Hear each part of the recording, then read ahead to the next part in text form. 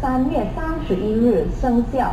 为了大家的安全和健康，大家必须在这期间里留在家。这很重要，是为了要打破感染链，以减少人民被感染二零一九新冠状病毒的机会。爱自己，爱家人，爱国家，请待在家里，请解散，立即回家，请遵守行动管制令。关于此行动管制令，请联络国家行动管理中心热线零三八八八八二零幺零。Tuan-tuan dan puan-puan, Perintah Kawalan Pergerakan berkuat kuasa dari 18 Mac hingga 31 Mac 2020.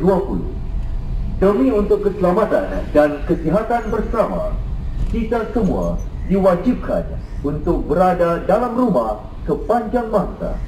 Ini penting untuk memutuskan rantaian jangkitan bagi menangani penularan wabak COVID-19.